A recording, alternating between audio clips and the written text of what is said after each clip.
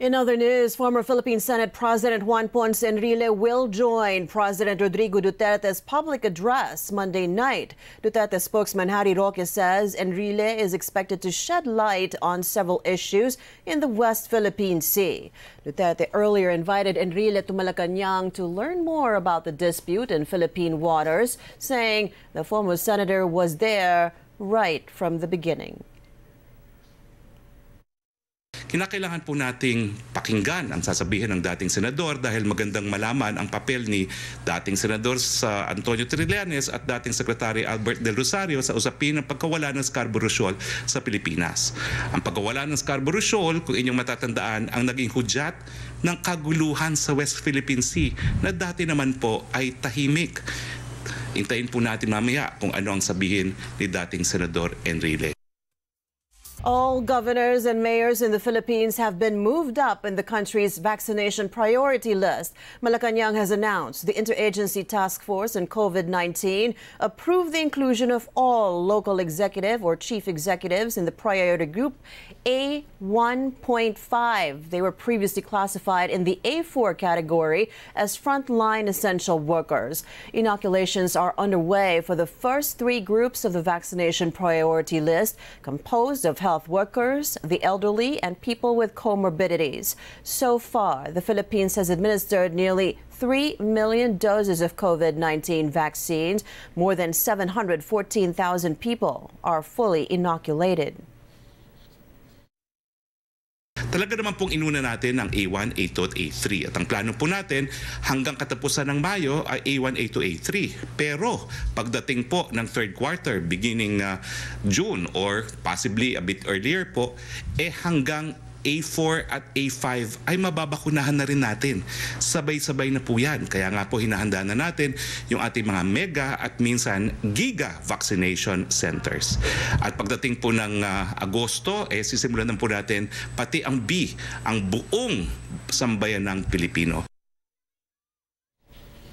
The Philippines aims to achieve herd immunity this year by vaccinating around 50 to 70 million people. To do that, Malacanang says areas with high COVID 19 cases will be prioritized in the vaccinations. Well, despite calls to open up vaccination to the general public, an expert still believes government should stick to its priority list. Dr. Lulu Bravo says efforts should be doubled to inform senior citizens who are still hesitant to get vaccinated. Unfortunately, we do have to go through there because the vulnerable population, if they start getting all this COVID, and you know, they're the most vulnerable, it will have to accrue the, the collected number of patients who will go to the hospitals, who will die from COVID.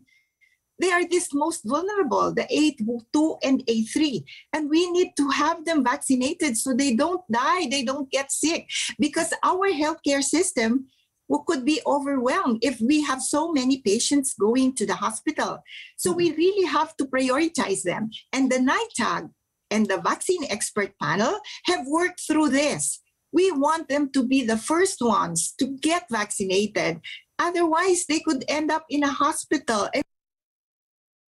The Philippine General Hospital hoped to resume operations in 24 to 48 hours following the fire that broke out there early Sunday morning. The fire hit the operating room sterilization area on the third floor and was extinguished five hours later. Authorities are still investigating the cause.